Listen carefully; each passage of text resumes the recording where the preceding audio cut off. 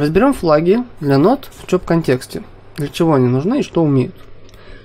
Итак, вы уже поняли, что дисплей флаг нам показывает текущие каналы в панели Motion FX View. И мы можем включать их несколько, при этом и Shift держать не нужно. Мы хоть все можем включить и посмотреть, как в процессе сетки э, изменяются наши каналы. Если я нажму с контролем, то я включаю только эту ноду, все остальные выключаются. Об этом даже в подсказке написано, что обычный клик включает отображение, а Ctrl-клик делает нам эксклюзивное отображение, так называемое. Дальше, второй флаг. Он называется Output. Ну, немного как-то спорит с флагом Export, да? Примерно одна и та же задача. На самом деле нет. Экспорт имеет конкретное назначение. Это экспорт анимационных каналов из job контекста в куда-то там еще. А output используется для выбора ноды которая является финальной в саб-нетворке. Так же, как мы в SOP-контексте дисплей флагом говорим, какая из нод будет финальной, мы флагом output задаем финальную ноду в саб-нетворке. Ну, то есть у нас есть subnet, у него есть output. И данные какой ноды придут у нас вот здесь, из output из этого саб-нетворка. За это как раз и отвечает флаг output. Давайте возьмем вот эти ноды. Все закинем в subnet. И включим его. Какую мы видим ноду? Заходим сюда, и это нода экспорт.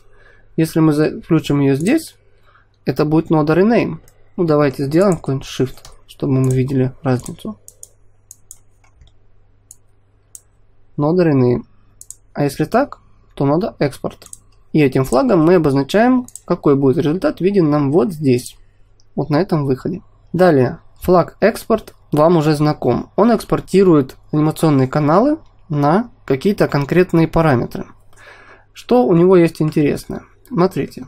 Сейчас я здесь сделаю отмену. Выйдем назад. С этим флагом есть один момент. Из одной сетки я могу экспортировать из нескольких нод.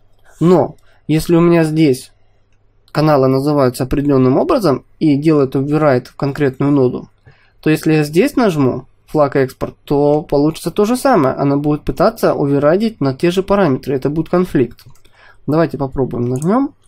И у нас появляется предупреждение. Здесь написано, что две chop ноды пытаются экспортить в тот же самый destination, ну, на те же самые параметры. Что нам нужно делать? Либо мы unexport, то есть отключаем noise add1, либо отключаем lag1, ну вот эту ноду. Мы должны выбрать. Ну давайте нажмем вот это. То есть мы выключили, отменили включение этого флага. Хорошо.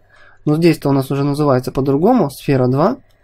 Нажимаем, и нам говорят, нет, здесь тоже у нас есть конфликт, потому что в другом сабнетворке, ChopNet 1, есть уже экспорт на эти параметры. То есть здесь еще идет проверка между контекстами. Что мы можем сделать? Ну, мы жмем отключить те, пускай здесь включается экспорт. То есть из вот этого чопнета флаг выключился. И таким образом, что логично в принципе, мы не можем с э, двух нод делать экспорт на один и тот же параметр. Нам нужно выбрать одну из них. А так в одной сетке, как видите, можно включать сколько угодно экспортных флагов. Ну и последний флаг – это флаг bypass. Он, как обычно, просто отключает ноду, и она больше не работает. Единственное, что нужно учитывать, отключение этой ноды не означает, что она перестает экспортировать. Она просто не делает свои действия. Но пришедший канал она также экспортирует. И конкретно в данном случае что у нас произойдет? Нода не произведет rename, а значит каналы будут пытаться экспортироваться по старому имени. Если я отключаю, мне снова выпадает окошко. Что нужно сделать? Либо мы отключаем экспорт на этой ноде, либо отключаем экспорт, который у нас установлен выше. Отключаем. Видите, флаг экспорт, он по-прежнему активен. Нода не вся задисейблилась. То есть экспорт по-прежнему происходит. Проверим это. Вот она нода. Сферка наша по-прежнему двигается. Несмотря на то, что экспорт флаг у нас стоит всего один на задисейбленной ноде. Если мы выключим байпас, то у нас произойдет rename и будет уже двигаться другая сферка. Как нам это проверить?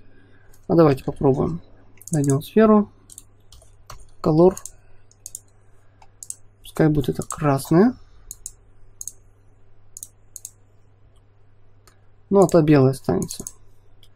Мы выключаем сферу, и у нас идет override на красную. Когда мы включаем, происходит rename, и теперь на вторую сферу происходит override, на белую. И по флагам это все.